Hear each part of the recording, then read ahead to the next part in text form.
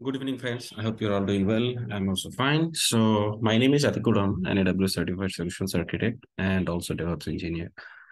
I'm going to show you today how you can uh, clone your Git repositories from AWS Code Commit using um, the HTTPS method.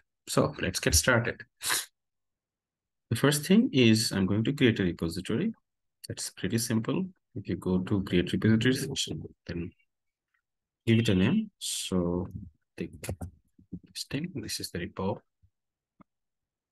And it will create the repo. Then uh, if you go to the list view, there are three options to clone this Git repo. One that is HTTPS, SSH, HTTPS GRC. I'm going to show you today HTTPS method. So let's copy this part.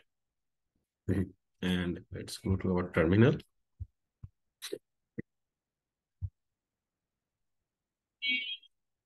Go to a directory.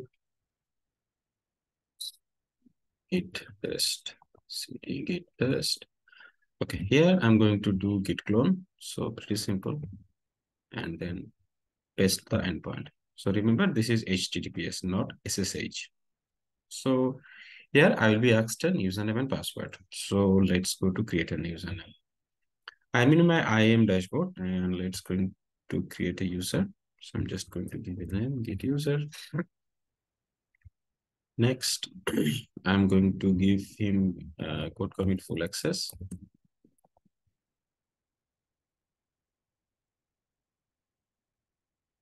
Sorry, typing mistake, code commit. So uh, you can give full access or power user. I think power user should be sufficient. The less privilege is better. Create user. Then click on view user part. So here are the user details.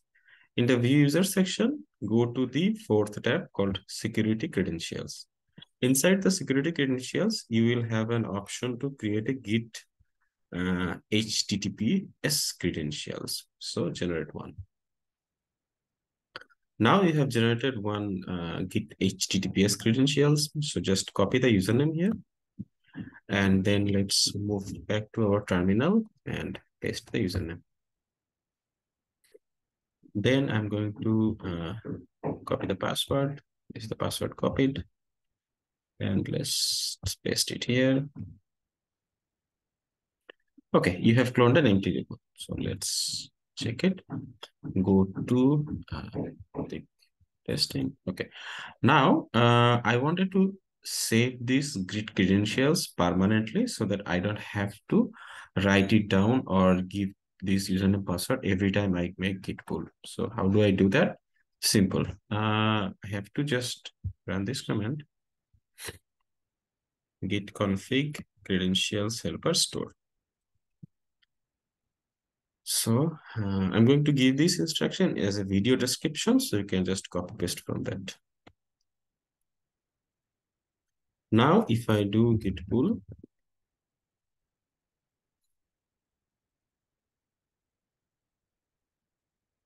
okay, let's add a new file, touch sample.txt, git add, git add dot git commit minus m initial commit git push. So this is been done. And now git pull. All this is done. Now let's do something different. Let's create a new one. As i have saved my repositories this shouldn't ask me any more again. So uh, this is second repo. Create a second repo.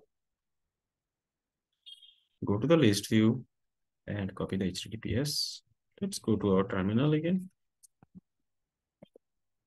and do git clone.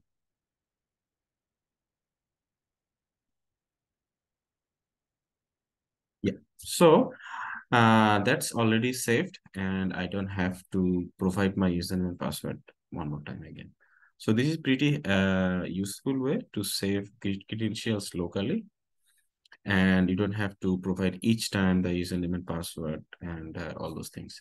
So that's being said, this is the easiest way to clone repositories from AWS code commit into your local machine. So this will work on your Windows, Mac, Linux, all those platforms. I have shown in Linux, but you can try with Windows machines as well and Mac as well. So this will all work. Remember that you have to install Git first. I already had Git installed, so I don't have to reinstall it again. But for your purpose, you have to install the Git first and then run those commands. So thank you for watching my video. Please subscribe to my channel to get more news like this. Thank you. Have a nice day. Bye-bye.